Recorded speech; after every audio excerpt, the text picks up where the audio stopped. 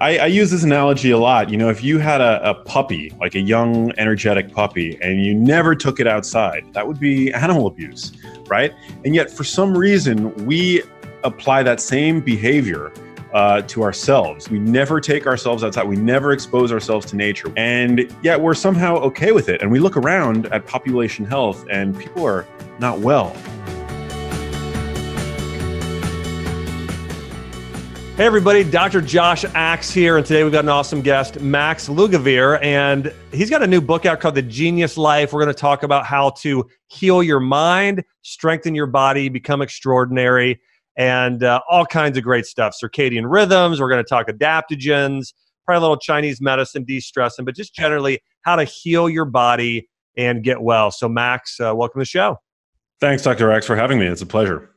Yeah, so I know you, you and I got to talk recently too because I was uh, I was on your podcast and was excited to have you on mine, and um, you know we're going to get to talk all kinds of great stuff here. You were the first person in an interview to ask me about He Shou Wu, uh, one of the adaptogens, and you pronounced it correctly, which was amazing too. So, anyways, uh, man, I'm stoked to have you, and man, let's let's go ahead and dive right in. You know, one of the things I wanted to uh, ask you about is sort of circadian biology. I know that you know you've I, I know you've in your book you talk a lot about nutrition, so we're going to dive into that.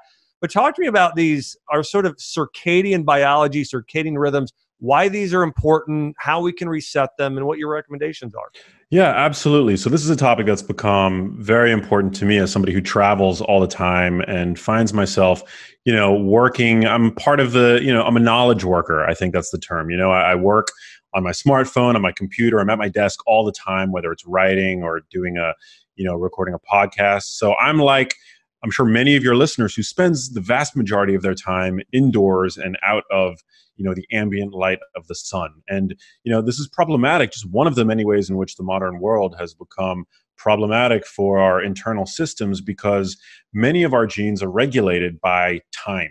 And unfortunately, the body doesn't have a clock that we can, um, you know set with buttons. We have to set it through uh, what are essentially time setters and light is the primary time setter that our brains use to to recognize what time of day it is.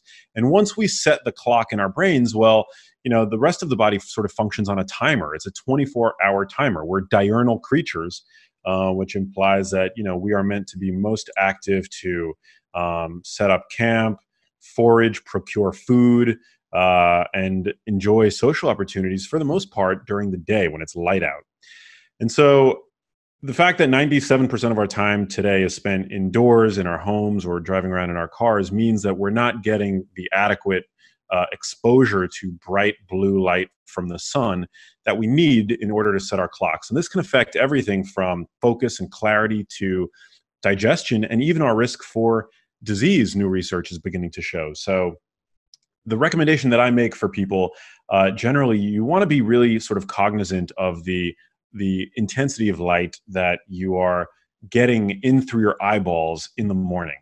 Um, you know, a thousand lux. Generally, lux is a unit with which we measure uh, light intensity, and people can download an app actually on their smartphones called Lux, which can give them a sense, a relative sense of the light exposure in their domiciles and outside. And generally, a thousand lux is very easy to obtain, even on an overcast day. On an overcast day, you get anywhere between a thousand to ten thousand lux of light just by standing outside or by standing by your open uh, window. And you need about a half an hour of that to really set off this this circadian rhythm, which does a number of things for you. So bright light, they've shown, can actually boost levels of serotonin in the brain. So a lot of people come the winter months, they start to develop uh, feelings of, of doom and gloom, essentially. And that's actually a, a, a, psychiatric condition that is now being called seasonal affective disorder.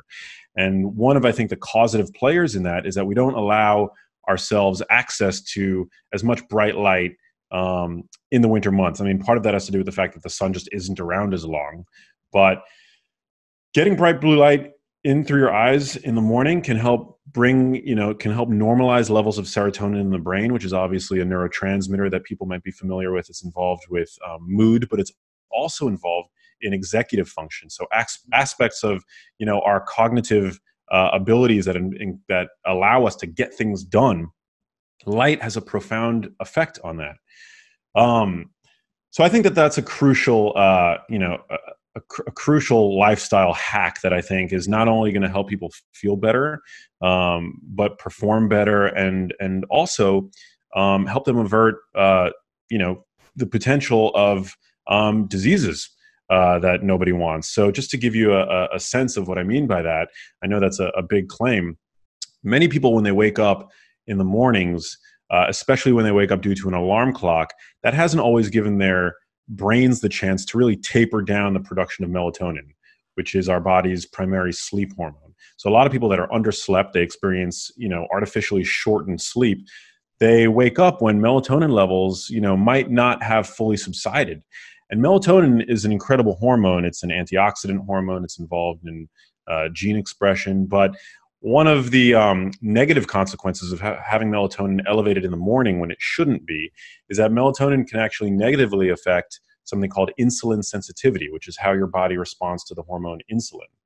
And that's problematic because what that means is if you consume carbohydrates in that context, when when you know like your average uh, American, you know the, the your average continental breakfast here in the states is a a muffin or a bowl of cereal or a Pop Tart and a glass of juice. That means that in that context, when your melatonin levels in the morning haven't properly subsided, that can lead to elevated levels of blood sugar that um, would be elevated for longer than when they, you know, for the duration in which they normally would be elevated for. So, getting that bright light in in the morning again, it's a great way to turn off melatonin production and really set your body up for the day. Um, at the end of the day, light is equally important, but the impetus is on us to really make sure that we're being very deliberate about the light that we let to allow to enter our eyes. And we want to be really cautious about that and to actually not let as much light enter our eyes. So, as easy as it is to set our internal time setters um, in the first half of the day, it's just as easy today in the modern world to disrupt that rhythm by getting too much light in through our eyes the preponderance of smartphones and huge TV screens and even overhead lighting in you know our gyms and supermarkets can easily reach the light intensity that 1000 lux that our brains sense as being a signal that it's daytime. So if you're doing that later on in the evening, that is negatively going to affect your sleep. And as I mentioned, um, light shuts off melatonin production. So you're actually suppressing the release of melatonin uh, later in the day by allowing bright light in through your eyes later in the day. And that's problematic too because melatonin, as I mentioned, is an antioxidant. It's involved in cancer protection. It regulates a process called autophagy, which is when your cells clean house. So, yeah, light is um, it's actually it's a drug in a sense. I mean, it's a drug in terms of how powerful it is as a as a health boosting um, you know, in terms of its health boosting potential, but then it also can have negative side effects, uh, like most drugs do, if not all drugs do, later on in the day. So I do a deep dive in what we currently know about circadian biology in, in my book, The Genius Life, and it's a super exciting, rapidly evolving field of science. But uh, it just goes to show you that health and well-being goes beyond just what we put into our mouths, right? It's it's about the full picture, and that's kind of what what you know, living the genius life acknowledges. I love it. You know, again, this is such an important concept. And there are things that I, I, know both you and I do talk a lot about diet and the importance of diet, but I do think it's so important to remember there are so many other things that impact our health. I know you and I, you know, on my podcast talked a little bit about, or when I was on yours, talked about emotional health. But there are these things you're talking about sunlight. You know, we could talk about uh, things like earthing and grounding. We could talk about relationships. So that's another thing. Uh, what are some of the other things that maybe you discuss in your book or you've researched over the years? You talked about light and circadian rhythms. What are some of the other things and factors? Um, you know, hot and cold temperature, all this kind of stuff. Because I know one of the things I think I read something where you mentioned about um, even Alzheimer's disease. I mean, some of the things that are important there. So I'd love to hear you talk about some of these other things that are outside of food that, that also have, have have this big impact. Sort of, I guess, these these ways that we've sort of disconnected ourselves from the natural world. Yeah, I mean that's a really good way to put it. We've become completely disconnected from the natural world, and you know we are. I, I use this analogy a lot. You know, if you had a, a puppy, like a young, energetic puppy, and you never took it outside, that would be animal abuse, right? And yet, for some reason, we apply that same behavior uh, to ourselves. You know, we we we never take ourselves outside. We never expose ourselves to nature. We never allow ourselves to get that beautiful bright blue light from the sun. And yet we're somehow okay with it. And we look around at population health and people are not well. And we wonder why. And the truth is that, like you said, I think that it's, you know, part of it has to do with the fact that we've become uh, we've segregated ourselves from nature and we are not different from nature. We are nature. We're part of this fabric this ecosystem. And so you alluded to te- temperature which is a major uh, aspect of um, i think good health and another sort of uh, connection to nature that we've lost you know? Um, back you know during the time in which our our ancestors uh, you know struggled to make it in the world before we had climate control and you know central AC and heat. Um, our ancestors experienced a wide range of temperature variation, and our bodies have been sort of honed by that because at either end of the thermal spectrum, whether it's extreme heat or extreme cold, our bodies know that you know extreme variation can actually kill you if you're not careful. And so we have hardwired protective and restorative uh, machinery actually hard coded into our genome that flip on when we expose ourselves to even slight variations in temperature. And yet today, too many of us stay within our comfort zones. And I think when it comes to anything good in life, whether it's creativity or good health, staying within your comfort bubble, I think, is not a good thing. So I talk about research that is now being performed all around the world in major academic institutions where they're finding that just by exposing yourself to to um, differences in temperature that you can see a profound improvement in terms of your uh, in terms of various markers of your health. So at the at the you know upper end of the thermal spectrum, we can talk about heat. So I cite research now coming out of the University of Eastern Finland, which is showing us that regular sauna use is associated with dramatically improved health and uh, more specifically risk reductions for some of humanity's most feared conditions so heart disease um, dementia, and more specifically, Alzheimer's disease. And I think part of the reason for this well, I think there are a few mechanisms that are worth exploring. So, first, when we sit in a sauna, um, and I'll give you guys because I know that not everybody has access to a sauna, unlike in Finland. Um, you know, Finland is the sauna capital of the world. There's on average one sauna for every household in Finland. Wow. Yeah, it's pretty crazy. That's where it's like the the home of of saunas. It's like the global capital. Um, and and just to b- before I get into the mechanisms, I think it's really cool, Dr. Axe, because you know it's a it's a good le- it's a good opportunity to sort of learn about um, observational research. So in the U.S., if you were to do a study and look at saunas and health outcomes, for example, you might say there there would be a very strong healthy user bias because in the U.S.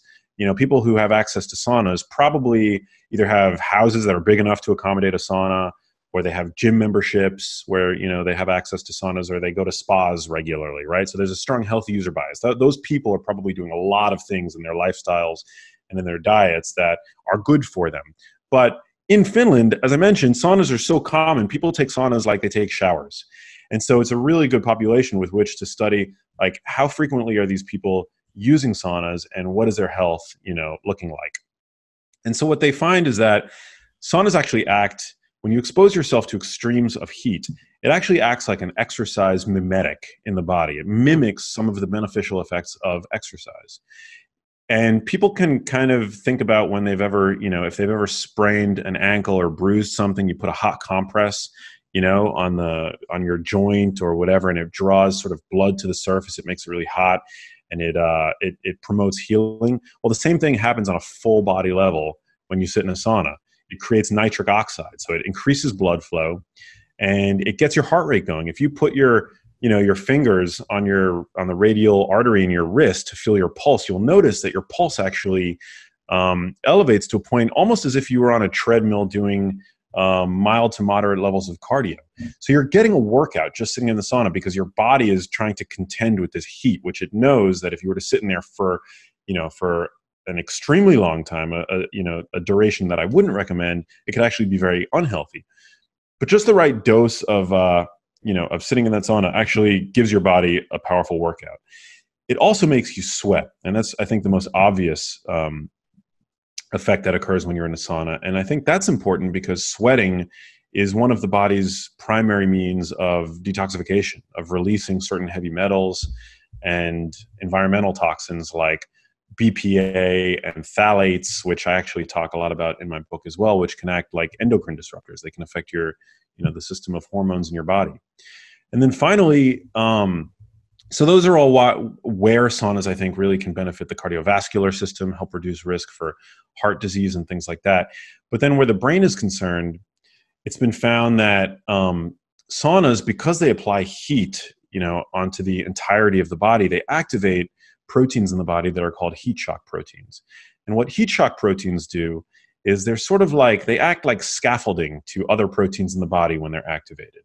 And they were actually named because they were first identified um, because they, you know, they they are primarily or they were expressed when they were first observed uh, in response to heat. But we now know that heat shock proteins are expressed during a myriad of different um, environmental stressors. But this is crucial because these proteins they act like scaffolding. They help pr- protect other proteins in the bo- in the body from a process called misfolding.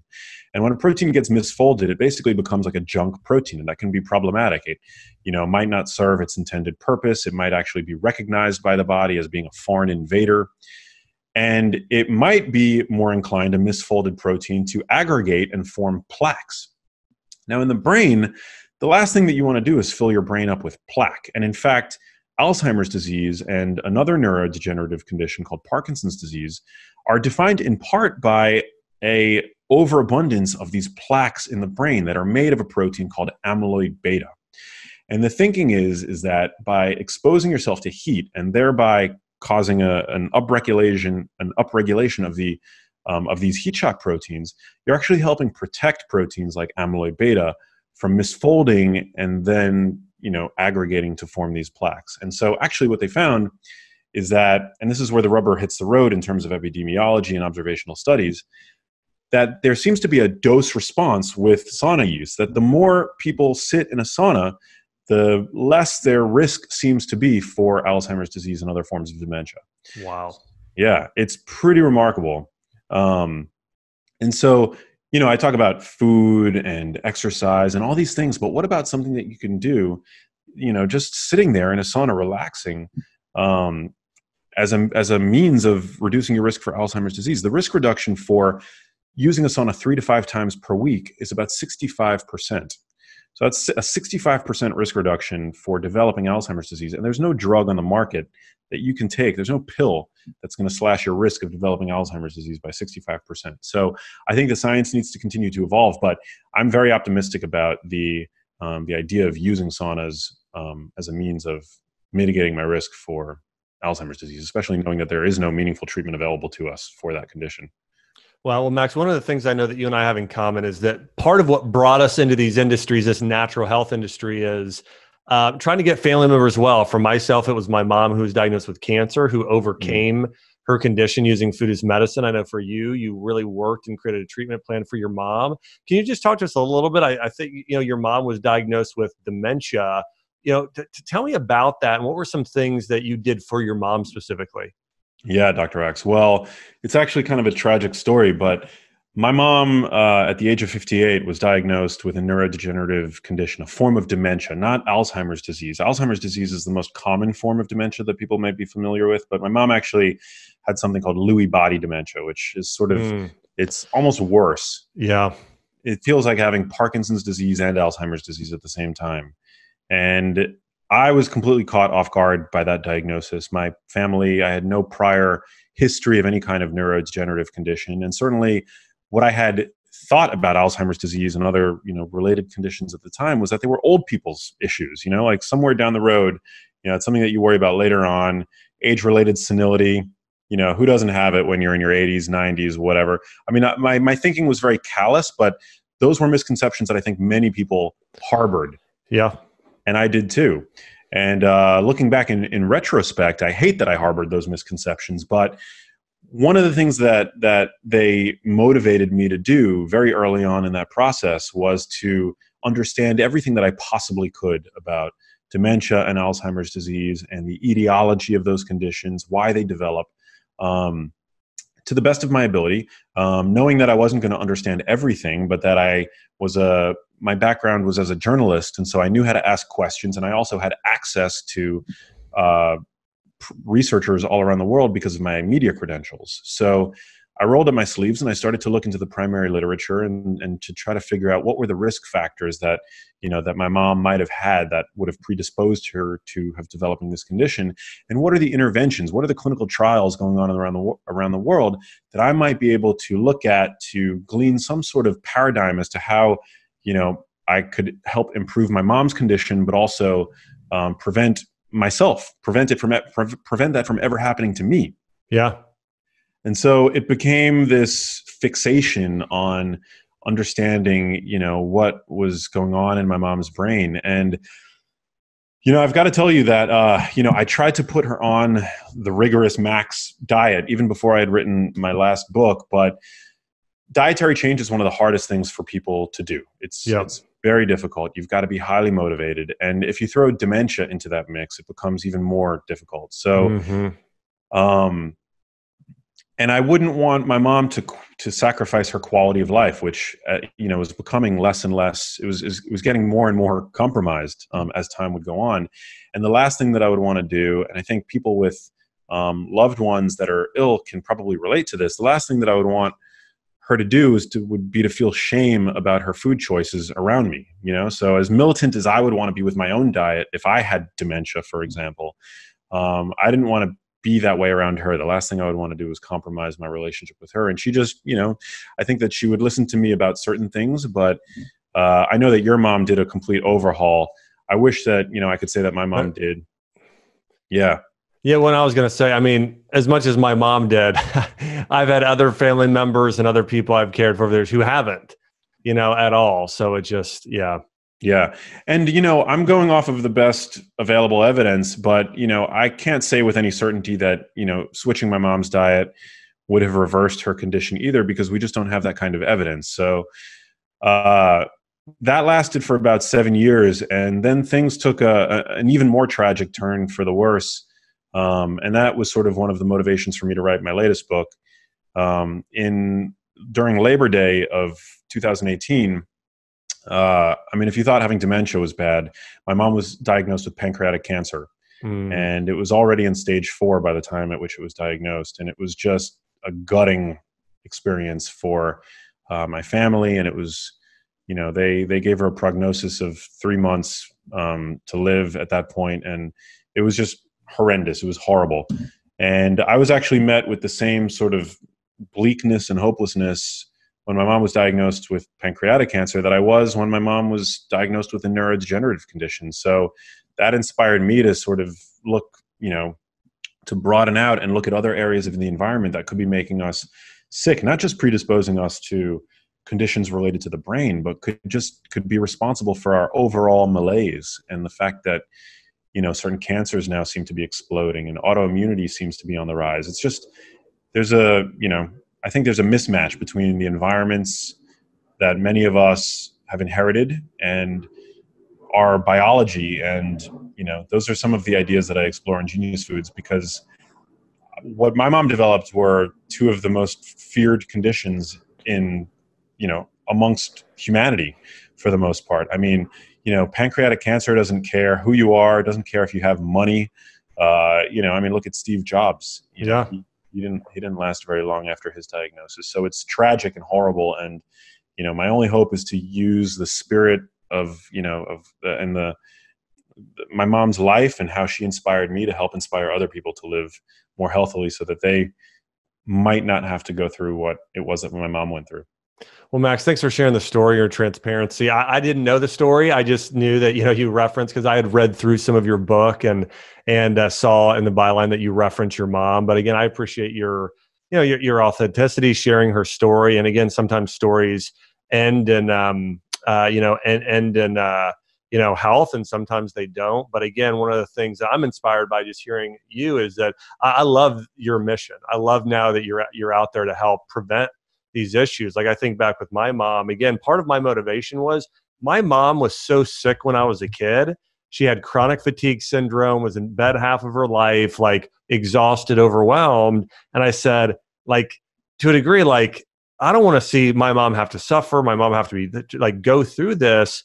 But again, looking at what you're doing now, writing your book, doing your podcast, everything else, again, it's just inspiring to me that again, I, and this is this is something for me when I interview people um, that again um, that I think is so powerful is that when you're able to when you're on a mission, when you're on a mission to help your family member, when you're on a mission to then help people, especially prevent some of these issues, there's something about it. Because like when my mom had her condition i read more than i've ever read. You know what i'm saying? Like i studied more i searched more i talked to more uh, experts in the industry and i learned more and i you know used used the bad for good you know and so anyways i just appreciate that you're uh, on a mission doing that and um and so anyways yeah again thanks for uh you know thanks so much for sharing that you know i know in your I know in your book as well, The Genius, which by the way, I do just want to give a shout out here. You've mentioned it a couple times, but your book, it was a New York Times bestseller. It's called Genius Foods. And uh, I know you've got uh, endorsements in it from some of our mutual friends and colleagues. You got Dr. David Perlmutter.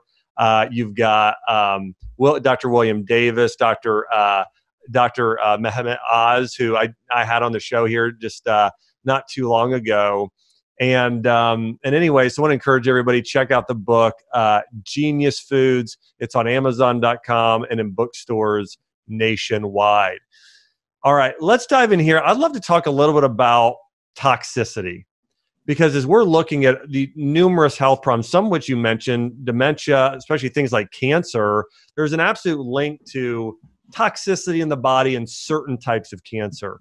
So what t- talk to me about the toxic industrial chemicals and what, what those are doing especially to our hormones our metabolism our brain function. What's what are some things that people can start doing right now? Yeah absolutely. So i mean you know we're inundated with industrial chemicals every chance we turn and i'm not chemophobic meaning i'm not you know afraid of chemicals that i can't necessarily pronounce like i don't want people to live in a state of fear of you know any sort of compound on the ingredients list that has more than one or two syllables. That's not my goal, but my goal is to sort of let people know that um, there are many times throughout history where products, chemicals have been unleashed into the environment um, without appropriate testing, only later to be realized having caused major health and environmental problems. So people can think about lead based paints, which have been used up until 1978, right? We used to paint our homes with paints uh, made primarily with, with using lead as a primary ingredient because it sped the drying time of those paints. And those paints, it's a very good example to use because they were thought to be inert, right? But little did we know at the time that in high friction parts of the house, windowsills, uh, you know, stairwell banisters, things like that, paint can actually form dust and chip off and enter our lungs. It can get on the hands of uh, adults and children, and you know, we a lot of us, um, you know, have we you know have hand to mouth behavior a lot more than we'd like to acknowledge sometimes, but um, you know, th- these paints can actually enter can easily enter circulation. Um, another good example is asbestos-based building ins- ins- insulation. So you know the insulation in our homes used to be provided by uh, a compound called asbestos, which we now know is a major poison and is responsible for different types of uh, cancer, primarily lung cancer, uh, mesothelioma, uh, mesothelioma, a certain type of lung cancer. Um, various pesticides like DDT, which has been outlawed. So the the point is that there's been numerous times where industry has unleashed, you know, a compound um, into the world, and uh, we've sort of accepted those compounds as being innocent until proven guilty. But my argument that I make in my book, The Genius Life, which is my new book, is that these compounds should be considered guilty until proven innocent. Um, and we can see countless examples of, of chemicals, even now, that um, you know we have in our supermarkets, that you know are in our homes, in our kitchens, in our drug cabinets, uh, that are having profound consequences on our health.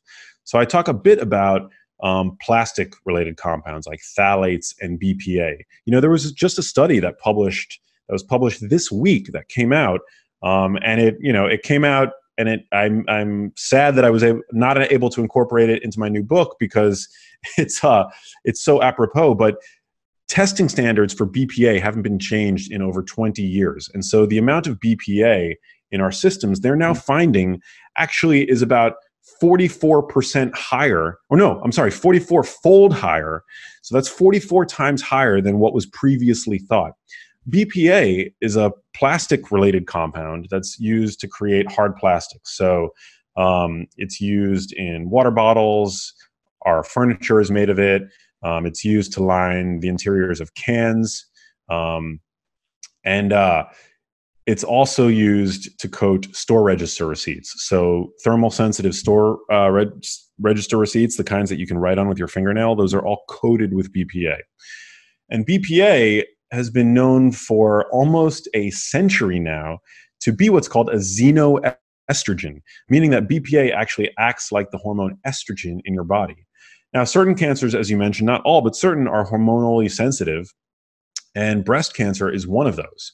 And so I think that's one of the reasons why you see this dramatic increase in incidence of breast cancer today. In fact, in the 1960s, a woman's lifetime risk of developing uh, or of being diagnosed with breast cancer was about 1 in 20. Today, it's 1 in 8. Now, certainly we've got better at diagnosing breast cancer um, over time, but I think, uh, we, you know, there is no certainty in terms of why that number has increased so dramatically. And I think the fact that we're just inundated now with these estrogenic compounds, um, that's one major uh, source of despair for our, our, you know, our endocrine system.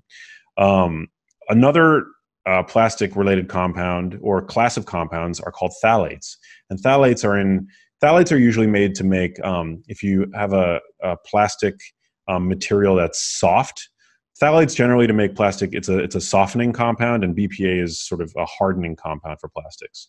Um, but phthalates are being used in everything from um, from plastic related compounds uh, water coats things like that. You know our cars are loaded with phthalates to fragrances. So you'll find f- anywhere you see um, fragrances listed on a, um, on a on a product whether it's a, a home cleaning product or um, an air freshener or the like. Usually, those fragrances are made using phthalates, and phthalates are also xenoestrogens. And these these compounds accumulate in our bodies, and they act to disrupt our system of hormones. So, I mean, estrogen is the sort of the, the primary hormone that they screw with, but um, we don't yet fully appreciate, I don't think, the myriad of ways in which these compounds affect us. So you know your system of hormones governs everything from your predisposition to disease to fat storage to brain function to even uh, sexual function libido and development. And depending on where you are on the age spectrum these compounds can have a more pronounced or a less pronounced uh, effect on you. So for example if you were to mess with your hormones as an adult um, you might see a uh, an increase in your lifetime risk of developing again you know certain cancers. Um, you might see maybe a little more fat storage. Uh, for example, maybe your it can mess with your hunger levels. I mean, these are all things that are by and large uh, reversible. But if you were, say, you know, in adolescence or even earlier than that, you know, on in in your life, tinkering with hormones can actually have a lifelong effect because hormones guide development. Uh, thyroid hormones, for example, affect the you know brain development. Um, sex hormones affect, like estrogen, affect you know everything from your um, you know the development of your sexual features to you know any number of factors. So I think it's important to become aware of where these compounds are in the environment. And generally, what I recommend for people is to be hyper vigilant in terms of lessening your uh, reliance on plastic.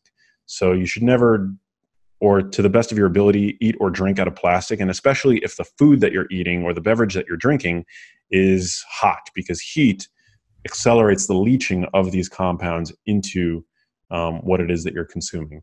So that's crucially important. And as I mentioned earlier, um, you know, saunas and sweating, sweat is a major vehicle by which we can excrete some of these compounds.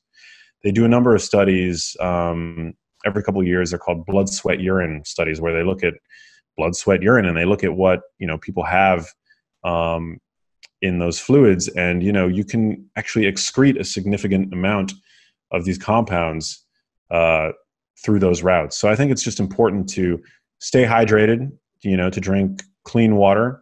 The solution to pollution is dilution as they say. So you know make sure that you're staying hydrated that you're sweating frequently that you're exercising vigorously. And then aside from reducing our reliance on these on these products that use plastics. Um, it's also important to eat in a way like to use uh, to consume a diet that can help reduce the burden of toxicity in your body. And I know that you know you talk all the time about diet, and my previous book, Genius Foods, I covered sort of some of my dietary uh, philosophy, and I do so as well in the new book. But um, but eating a nutrient dense diet, incorporating foods like cruciferous vegetables, which are powerfully detoxifying, um, dark leafy greens, and the like. Uh, I'm a big advocate of eating properly raised um, animal sourced products. So grass fed beef, um, I think, is important for detox because it provides it's the, one of the top sources of sulfur containing amino acids, and sulfur is the backbone of glutathione, which is your body's primary um, detoxifier. It's your body's master antioxidant and detoxifier. So, um, grass fed beef, dark leafy greens, cruciferous vegetables, eggs, things like that, all crucial. And, you know, it's not about completely eliminating your exposure because it's just going to be that's going to drive you crazy in the modern world. It's just about kind of becoming cognizant of where these chemicals lie and then doing the best that you can to avoid them. Yeah, that's good. That's really good. Um, one of the things we've talked a little bit about sweating. You brought up the sauna a few times, which I love. In fact, I have a Chelsea and I have a sauna here in Nashville that we use really frequently, especially in the winter. We use it uh, a lot of times more often. But um, I want to talk to you. about One of the things I saw you uh, quote this somewhere, and you said um, you've got a trick to supercharge your brain that kind of tricks your brain into getting the equivalent of a marathon workout in 10 minutes. So I'd love to hear hear what that is. I know. What a what a prospect, right? yeah, so in the book I talk a lot about what we currently know about best practices for exercise and building the body that you've always desired, both in terms of body composition but also strength. We know that strength is re- directly related to better brain health um, they've done a number of studies now where they're finding that more robust uh, muscles actually is really good for the brain. And I think that there's a number of reasons, a, no, a number of mechanisms that could potentially explain that. But one exercise modality that I talk a bit about, um, and that I think is really important for everybody to do, is high intensity interval training. Mm. Um, so high intensity interval training, basically, it's going, it's it's doing a sprint. It's like giving it, giving whatever modality you choose your all for 10 to 20 to maybe 30 seconds. Don't worry about speed or pace or distance or anything like that. It's really just about the effort that you give it and going all out for 10 to 20 to 30 seconds and then rinsing and repeating, doing that about five, six times. They've done studies, one study in particular that I cite in the book, where they find that a number of cycles of this, uh, with about a two minute warm up and cool down on each side, so totaling 10 minutes, actually can improve your VO2 max, which is a measure of how efficiently your body utilizes oxygen to create energy.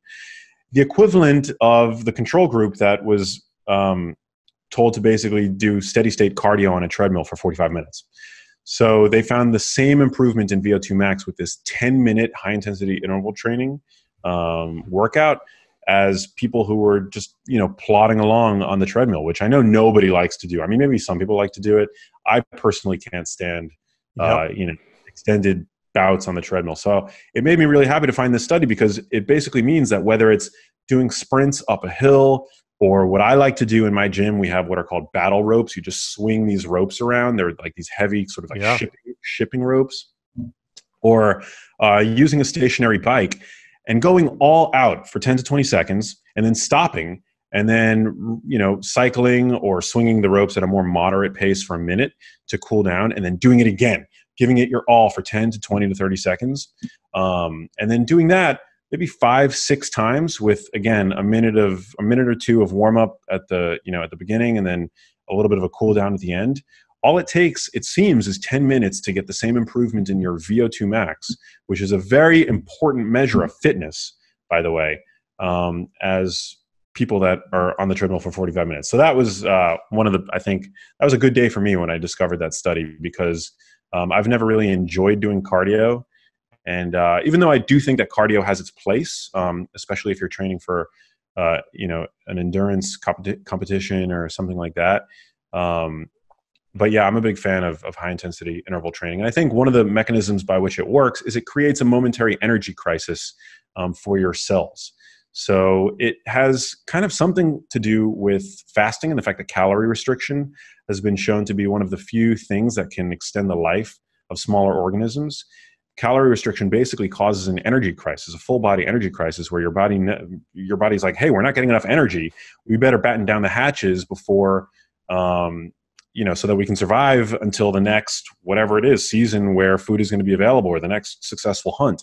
So when you do high intensity interval training, it kind of sends the same message to your cells because you're working, you're putting in so much work that your cells can't basically get enough energy from the available oxygen um, or sugar uh, that is at their disposal. And so at the cellular level, it causes a number of really important adaptations that in the grand scheme of things, make you a more robust organism. And it seems to improve vigor and yeah, high intensity interval training, I think is just is crucial. Um, I also talk about resistance training and the value of getting to the gym and lifting weights, which I think is very important.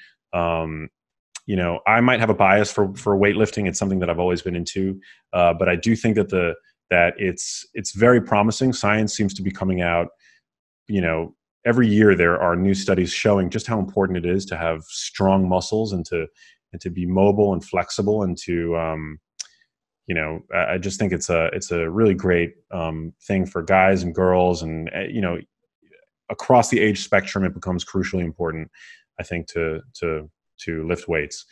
And then I talk about aerobic exercise, although you know I don't think that you necessarily need to do it. You can, um, or I don't think that you need to do the cardio in the in the typical sense. I think that you can, you know, have do high intensity interval training or kind of craft a, a resistance training routine that that has a sort of cardio component yeah. to it by just shortening you know rest. And then lastly, the other exercise modality that I think is really important is actually not exercise at all. It's um, non-exercise physical activity, which burns a tremendous amount of calories throughout the day. And what that is is essentially just you know anything that you do other than sitting on the couch watching TV. Mm-hmm. So walking around, you know, dancing, doing chores around the house, all crucially important. Um, you know, when we move, whether it's walking or um, you know, typing to some degree or uh, you know, doing the dishes, chasing our cat, chasing our kids around the house, um, you're creating micro alterations to your blood pressure, which actually pushes fresh blood up into your brain. And conversely, sitting for an extended period of time actually drains blood from your brain. Mm. So, movement is crucial, and it's also a really great way to um, torch uh, a pretty significant number of calories. It gets sort of, it's uh, yeah, I think it's underappreciated as a means of of you know of burning calories, but you burn far more calories just moving throughout the day than you ever would jogging on a treadmill. So yeah, that's called and that's called NEAT, non-exercise activity thermogenesis, which is crucially important. I love it. Well, I agree with you too. Again, and you and I have re- read a lot of the same research on interval training, whether it's HIIT or burst or surge or all kinds of different names for it. But it really is amazing in terms of uh, the amount of fat you can burn, the amount of VO2 max you can boost in 10 minutes. We're not talking about, you know, we're not talking about an hour. We're talking about 10 minutes. So I, am with you. I mean, that combined with weight training, that's what my wife and I do. We do intervals and weights, you know, and sometimes we'll throw in uh, a little bit of Pilates or yoga, that type of thing in there too. But it's, it's uh, it's the way to do it. I love that. I want to encourage you guys check out Max's book the Genius Life. Uh, it's it's it looks great too, by the way. The book cover. I love that you've got sort of the shape of a brain made of some of those superfoods. It's fantastic. It's endorsed by you know everybody uh, from Dr. Perlmutter to Dr. Oz, and so it's great. You can check it out. Genius Foods. And I want to say, Max, man, hey, thanks for coming on. Again, I thought I, I love uh, I love talking to you too because you're bringing so many new things to the table. We're talking about we talked about body temperature. We talked about circadian rhythms. These are things that uh, I don't think we hear a lot about, but I think are so critical to uh, you know to us do, to to us being our best. So I want to say thanks so much for coming on. Oh yeah, my pleasure. The so the new book, The Genius Life, yeah, it's about the simple little things that you can do in your daily life. You know, little hacks that you could sort of integrate into your daily routine that are going to have big health wins, both in terms of how you feel today and down the road. So thank you, Dr. Axe, for having me on. And I loved our chat on my podcast. So it's just a pleasure to connect with you. And I'm honored to have had this chat with you. Awesome. Hey, thanks so much for being a guest, Max. Thanks everybody for listening. This podcast is for information purposes only. Statements and views expressed in this podcast are not medical advice and have not been evaluated by the Food and Drug Administration. Opinions of guests are their own, and this podcast does not endorse or accept responsibility for statements made by guests. In some cases, individuals on this podcast may have a direct or indirect financial interest in products or services referred to herein.